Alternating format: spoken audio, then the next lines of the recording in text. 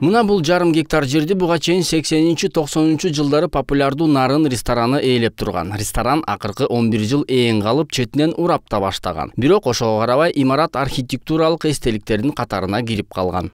Если честно говорить то чынын айтканда бишкек архитектуралык эстеликтерге өтө эле жарды. эстеликтер да аз. Өз эпохасын чагылдырган эстеликтерди биз архитекторлор тирөөчү имараттар деп атайбыз эки миң алтынчы жылы шаардын мэриясы ресторан турган жер тилкесин имараты менен чогуу жеке ишкерге кырк тогуз жылга ижарага берип койгон. Он жылдан кийин эки миң он алтынчы жылы имарат архитектуралык эстеликтердин катарынан чыгарылган. Кийин ресторан түрттүрүлүп ордуна беш жылдыздуу мейманкана курулары айтылган.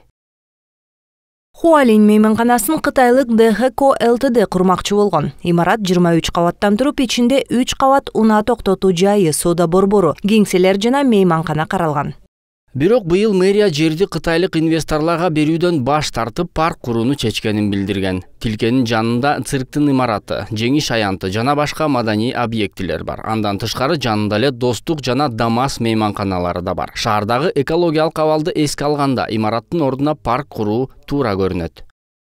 Инвестор ири каражат коротуп курулушка даярданганы менен мен нарын ресторанынын ордуна ири имарат курууга уруксат берген жокмун. Анын ордуна сквер ачылат шаардын стелласы турат.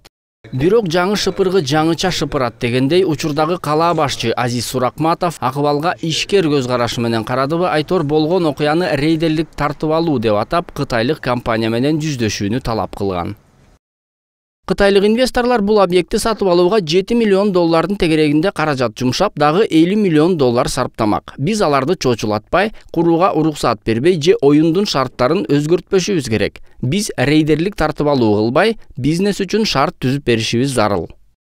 Кытайлык ишкерлер менен кала башчынын жолугушуусу качан өтөрү азырынча белгисиз ар кандай маалыматка ылайык нарын ресторанынын ээси алмашып кеткен. Кытайлык инвесторлор болсо кыргызстанда иштөөдөн баш тарткан чыңгыз турдалиев манас бакешов апрель телеканалы.